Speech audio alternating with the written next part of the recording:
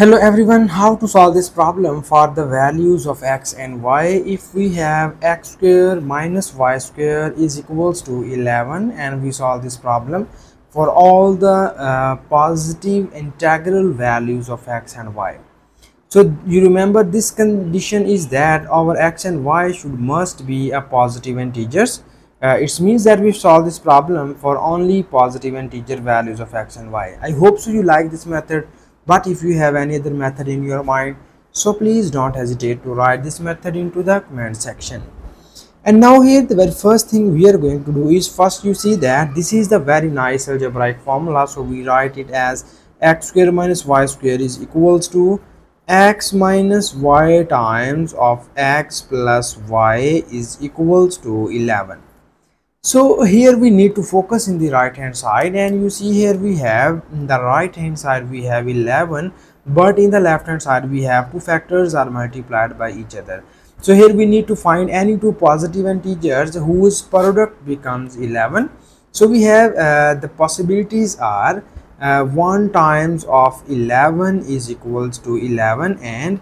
11 times of 1 is also equals to 11 so here we have uh, there are two possible possibilities uh, in which we get here uh, the answer is 11 uh, so now we uh, divide uh, this equation into the two cases. Mm, the first case is here we need to in in the first case we compare these two factors with uh, these two numbers okay? So when you compare these two factors with 1 and 11 it will be written as x minus y is equals to 1 and uh, the other one is x plus y is equals to 11 so here we call this is our equation number one and this is our equation number two. And and now here in um, we move uh, first we find the values of x and y from first case and then we move towards the second case. So uh, here we need to solve these two equations. Uh, for this we just add equation number one and equation number two. When we add these two equations we will get here you see that this is negative y and this is positive y are cancelled out by each other and here we have these are the two same values so x plus x is equals to 2 times of x and these two are cancelled out by each other and here we have 1 plus 11 is equals to 12 so here first we find uh, the positive integer values of x. For this uh, we divide both of the sides by 2 so when we divide by 2 it will be written as this 2 is cancelled out by this 2 and we will get here x is equals to here we cancel this term this is 2 times of 6 becomes 12 so from here we easily get the value of x is equal to 6 and you see here uh, 6 with a positive integer.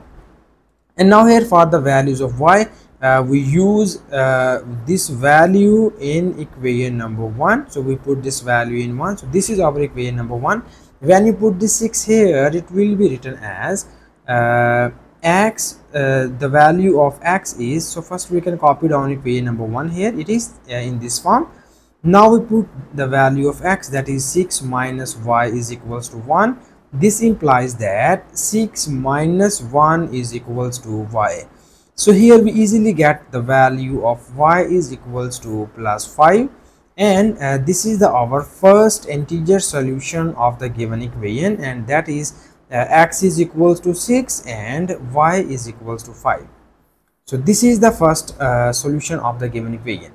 And now here uh, we need uh, to move toward the second case and here we compare these two factors with these two values.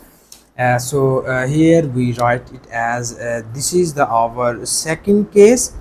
And in second case when we compare the values it will be written as x minus y is equals to 11 and x plus y is equals to 1 we call this is equation number 3 and this is our equation number 4 so here again we get the values of x and y. For this we uh, again add equation number 3 and equation number 4 when we add these two equations again you see here this is negative and positive y are gone and we get here x plus x becomes 2x 11 plus 1 becomes 12 and now we again divide it by 2 to get the value of y. So we divide by 2 and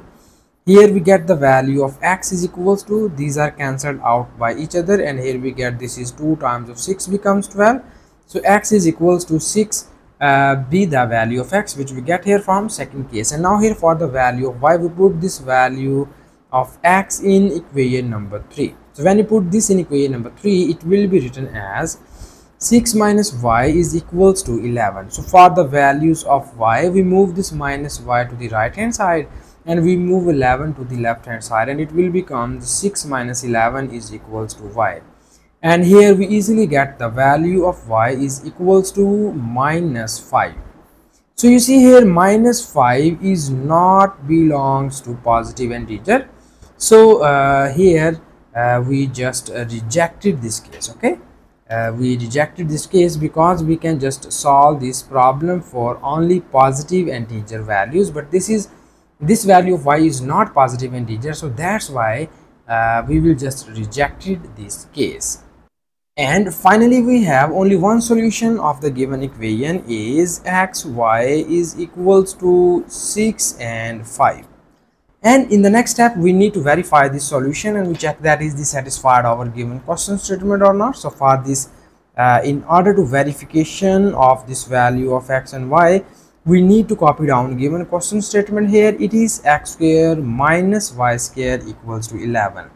and here we substitute the above both values of x and y into the left hand side and we check its behavior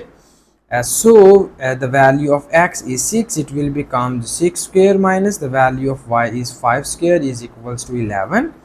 and here we have this is the 6 square becomes 36 minus this is the 5 square becomes 25 is equals to 11 and now here we need to subtract these two values. So you see here 6 minus 5 becomes 1 3 minus 2 is also becomes 1 so we get here 11 is equals to 11 so this shows that the value of x is equals to 6 and 5 is satisfied over this given question statement. So uh, this is the our final answer. And thank you so much for watching this video. Please subscribe to my channel for more exciting videos